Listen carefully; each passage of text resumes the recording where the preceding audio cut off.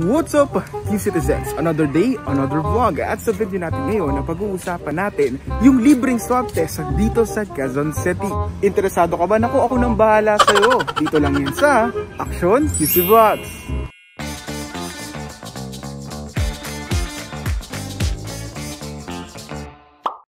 Napakahalaga ng swab testing para sa COVID-19 dahil dito nalalaman ang mga nagpo-positibo at mga close contact nito.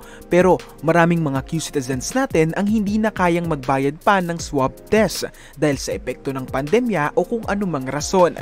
Kaya naman, handog ng QC Epidemiology and Disease Surveillance Unit ang libreng swab test para sa mga residente ng lungsod. Pero bago yan, i-follow ang aming official social media sites para maging updated ka sa mga kaganapan sa ating lungsod.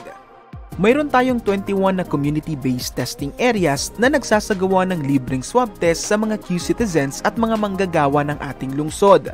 Sa kasalukuyan, limitado lamang ang pwedeng itest kabilang dito ang may mga sintomas ng COVID-19, close contact ng mga nagpositibong individual, nangangailangan para sa medical operation, mga dialysis patients, buntis, at mga manggagawa ng lungsod. Narito ang mga steps na kailangan nyong gawin para magkaroon kayo ng libreng swab test. Sagutan ng reservation form. Makikita ninyo ang link ng reservation form sa caption ng video na ito. Hintayin ang verification call mula sa team ng SESU.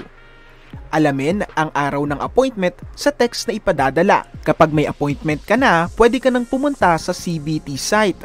Pagdating sa CBT site ay may mag assist sa iyo para mas mapabilis ang proseso. Next step is interview at sasagutan ang CIF form. At panghuli ay ang swab testing. Paalala, bawal ang walk-in kaya siguraduhin nasunod ang mga steps na nabanggit. Para sa iba pang mga katanungan, i-message ang SESU FB page o kontakin sila sa mga hotline na makikita ninyo sa inyong mga screen. O di ba libre na, madali pa. So paano ba yan mga Q-citizens? Huwag niyo kalimutang i-like, i-comment at i-share ang video na to para mas marami pang makapanood. Angelo De Mayo, ito ang Action QC Vlogs.